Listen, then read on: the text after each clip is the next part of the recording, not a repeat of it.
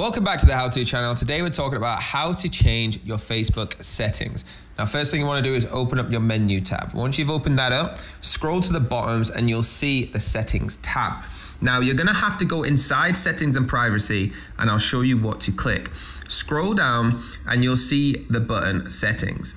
Okay, hit settings and then scroll down. Now you're in your profile and account settings. You want to go to where it says security and login.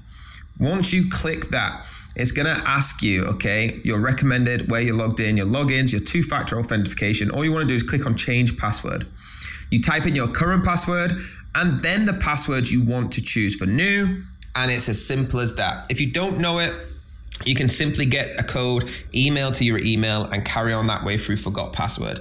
Okay, once you've got that email, click the link and follow the same instructions and just simply change your password. Guys, that's how easy it is. We tried to get you the easiest information on the how to channel, so tune in, like, subscribe, and follow for more.